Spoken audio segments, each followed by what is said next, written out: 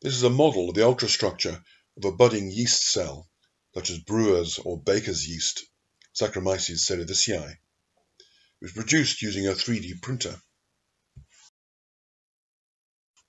You can clearly see the scars on the cell wall left by previous buds.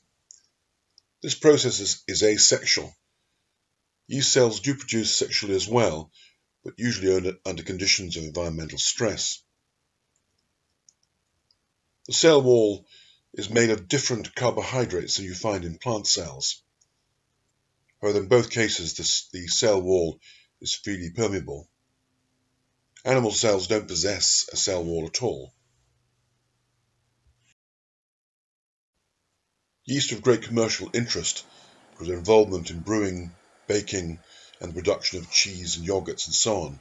Because of this, their ultrastructure is very well known. Yeast have eukaryotic cells, that is, they are more advanced in their ultrastructure. This makes them different from such things as bacteria and viruses. In particular, they have a well-defined nucleus, the nuclear membrane. The small oval structures with snake-like curves within them are the mitochondria. These are examples of the cell organelles. They are the powerhouses of the cell, producing large amounts of energy when oxygen is present.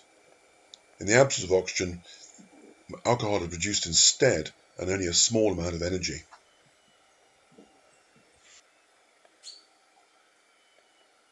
The finger-like structures with branching tips are the mitotic spindles. The branching tips are the chromosomes. What is happening here is the cell is dividing and making exact copies of the DNA within the chromosomes for both of the new cells that are formed during the budding process. The envelope that surrounds it is the nuclear membrane.